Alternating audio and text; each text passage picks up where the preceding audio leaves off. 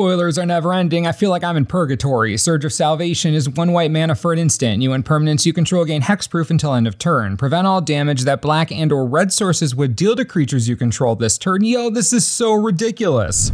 Surge of Salvation is top tier protection, and I am not being hyperbolic. It isn't Teferi's protection, but like it's close enough. In standard, it negates basically the entire black and red card pool. Invoke Despair specifically is gutted. This gave me whiplash. I had to double take so quickly. White players in standard, you should use this card. It's broken. Even in commander, think about all the red and black base nonsense that happens to you every single game with your friends. So many red players have Blasphemous Act, tons of players have Hand Attack, and just so many more ways to make your life miserable as a white player. But Surge of Salvation, attached to an Isochron Scepter, you're basically invincible. Enjoy never ever losing again. That is so gross. It is so strong.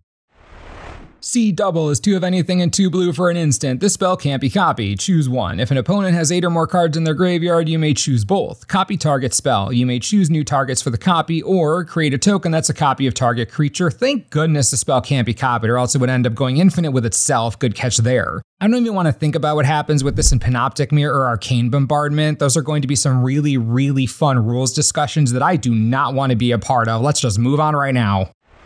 Pile On is 4 mana for an instant with Convoke, destroy target creature, Planeswalker, Surveil 2. This has real lethal scheme energy, and I'm here for it. This is definitely standard playable. Convoke gives good flexibility to aggro or mid-range decks that need to get rid of Sheoldred. Surveil is a nice add-on. It only takes one black specific mana, so it can be easily cast in multicolored decks, and it's instant speed. Sure, there are a ton of great removal spells in Standard right now, but this will earn its spot in various strategies. Planeswalkers exist and they are annoying. Cheap, easy to run, instant speed, card filtering, versatile. It is standard playable. Invasion of Kaldheim is three of anything and one red for a four counter siege battle. When it enters the battlefield, exile all cards from your hand, then draw that many cards. Until the end of your next turn, you may play cards exiled this way. Oh, look, another card for Prosper, because again, we can't go nine seconds without giving Prosper something awesome. When it's defeated, this invasion transforms into an enchantment called, oh no, Pyre of the World Tree. You can discard a land card to have the Pyre deal 2 damage to any target. Whenever you discard a land card, exile the top card of your library. You may play that card this turn. Quote, the warriors of Kaldheim burn the soul of their world to keep it out of Phyrexian's hands. Oh dear, I think I might cry. The World Tree. No, oh no, oh gosh, oh dear.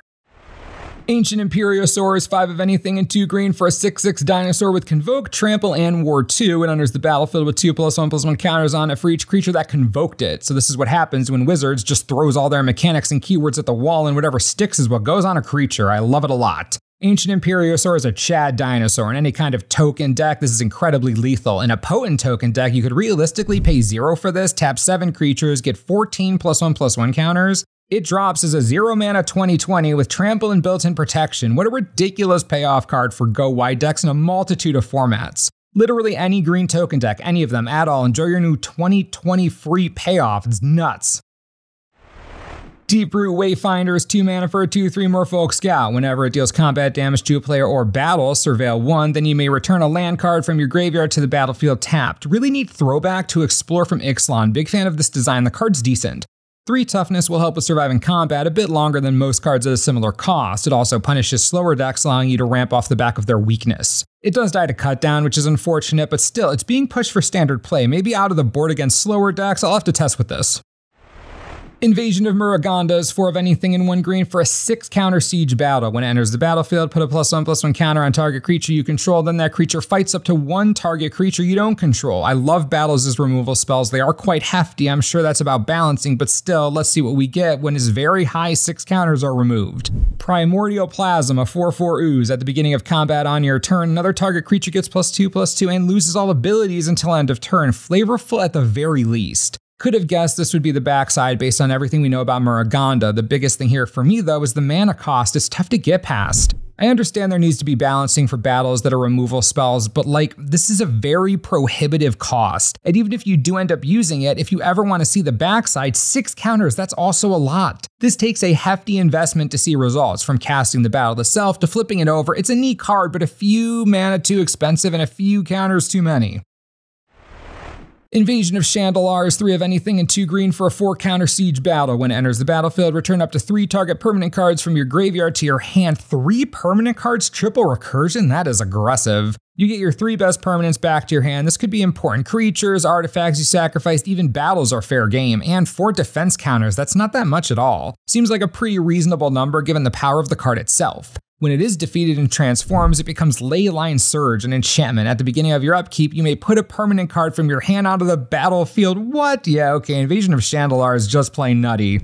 Every part of this card is amazing in every way possible. Not only does it have a low number of defense counters, at least that's my opinion, but it turns into a hand version of Planar Bridge. I'm thinking Kodama of the East, Tree Loves permanents, maybe even Vivictus Asmati the Dire, plays into the permanents Matters kind of theme the deck has going. And sure, to be fair, it is expensive and doesn't technically provide immediate board presence when you play it, but the Invasion isn't an on the curve kind of play. It's a late game play or a play when you've set up sufficient hand and graveyard size. Really impressive battle. The quality of this card type is all over the place, I swear.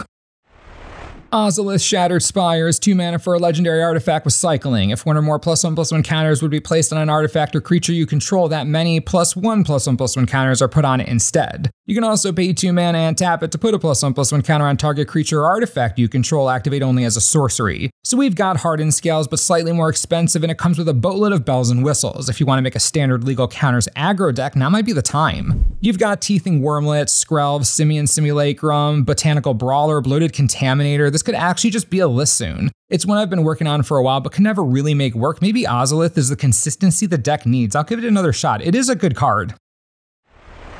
Invasion of Lorwyn is four of anything, one black and one green for a five counter siege battle. When it enters the battlefield, destroy target non elf creature an opponent controls with power X or less, where X is the number of lands you control. We have another really cool removal spell on another awesome plane that is so expensive. I mean, dang, how is this six mana with five counters on it? It's so chunky. Let's see what it transforms into. Winnowing Forces is an elf warrior and its power and toughness are each equal to the number of lands you control. Yeah, I'm sorry, I don't even dislike the card at all. I love that we're seeing Lorwyn again after so long. But 6 mana for a conditional removal spell that turns into a vanilla-ish creature, it's a heavy, heavy investment to make this work. Again, the power levels on these battles are like a roller coaster. Invasion of Xerex is two of anything, one white and one blue for a four counter siege battle. Rough translation. When it enters the battlefield, return up to one target creature to its owner's hand. It's nice that this gives the ability to play it without having to unsummon a creature, but again, four mana is high for that effect, especially at sorcery speed.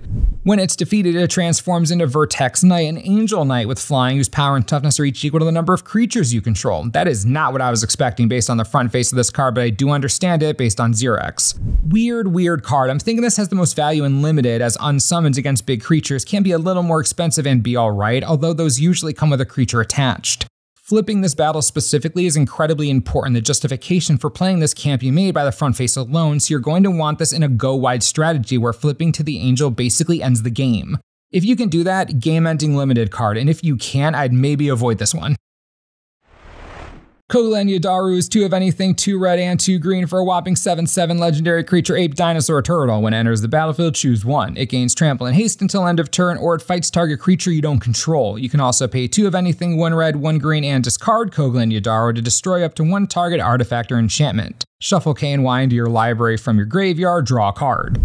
First things first, look at the artwork. Kogla has taken a Phyrexian and impaling it on Yidaro's spiky shell. That is just so savage and I love it. Now, while the card is monstrously huge as a 6 mana 7 7 that basically comes with a removal spell on it, the discard clause is more interesting to me. For 4 mana, you get to tuck the card, get a naturalize, and it replaces itself in your hand. That adds monumental flexibility to the card. You're basically getting a 6 mana 7 7 with haste and trample, a 6 mana 7 7 plus removal spell, or a 4 mana naturalize plus draw card. It's great. This answers so many threats, fighting for creatures, trample and haste to take down walkers or battles if you want. The discard clause for artifacts and enchantments for a Gruul card is covering all the bases really well. I like it a lot. And as always, stay tuned right here for more March of the Machine spoilers as they come out. Thanks for watching, and I'll see you next time.